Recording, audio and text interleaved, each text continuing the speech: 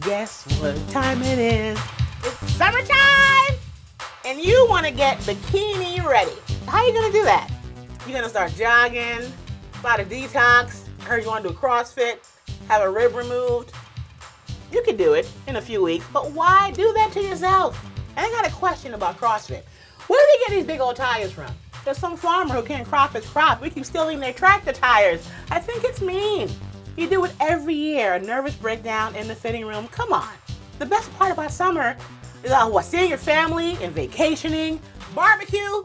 Barbecue is the best part of summer. Don't be crazy. The you should change is your attitude about being healthy.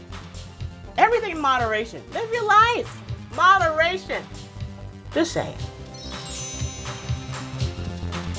Mm. Give that up? Crazy. Keep working out though. Ah.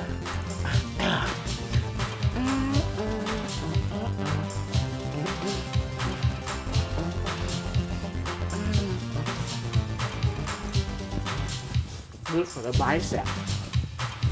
Good for the shoulders. Ah. Right arm.